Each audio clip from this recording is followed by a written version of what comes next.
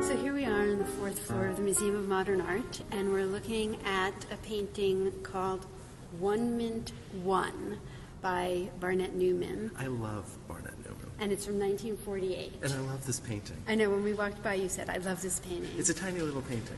You know, most people walk into this gallery and they look across the gallery on the other side and they see Vir Heroicus Sublimis, this huge red canvas. By Newman. And they completely ignore this tiny little canvas with this simple little line that Newman called a zip. But I think if Newman were still alive and he were in the gallery with us, uh-huh. you know, I think he would be very proud of Vir Heroicus, but I think he would want us to pay attention to Onement One. It was a real breakthrough for him in an important way, and he actually he talked about it in a in an interview with Thomas Hess, if I remember correctly. He says that he did it on his birthday. And he said that he was preparing the, I'll give you a little short backstory about it. He was preparing the canvas as he often did. If you look at the canvas, it's got this broad, sort of slightly uneven, cadmium gray dark background. Mm-hmm. But before he had laid that down, if you look closely, you'll see that there's a piece of masking tape, just simple three quarter inch masking tape that goes down the center.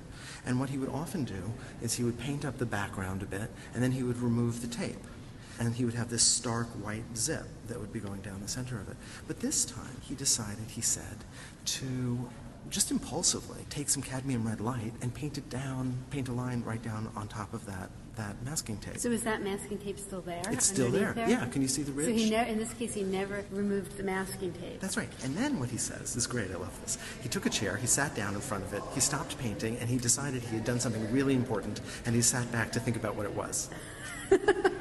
Now, Newman, you have to understand, was a really interesting guy. He'd gone to City College, he had been a philosophy major, he had actually run for mayor of New York on the artist ticket. Obviously, he didn't win. He was an ornithologist.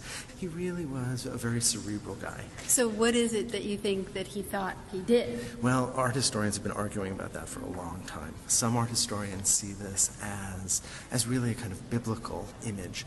There is a long line of art history that sees his childhood in a, an Orthodox Jewish environment as being expressed in this notion of a kind of biblical origin, sort of the, the primary division. If you think about the first pages of the Bible, of the book of Genesis, The dividing of light from darkness, of male from female, of good from evil. Yes, exactly right. the Um, land and the sea. That's right. But other art historians, who I tend to prefer actually, disagree with that to a large extent and see this as a much more formal and much more, I think, intellectually sort of uh, rooted set of ideas.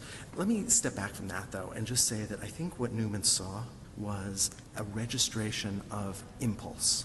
That his impulse to paint that cadmium red light down the center, which had not been preconceived, was itself the thing that he was valuing here. It was a kind of unexpected turn. And that impulsiveness, that sort of moment of, of creative energy, was signified here. That's what he was interested in. But artists do that all the time. It they was. they start painting and then they, They go somewhere else. They go somewhere else. They have an impulse, But and their is- brush takes them somewhere else. It's true, but this is such a sort of a purified expression of it. It's so elemental. That line, let's look at it for a second. It's not a horizontal line, although he did occasionally do that. It's vertical. And as you stand in front of it, you're not standing in front of this painting to the side.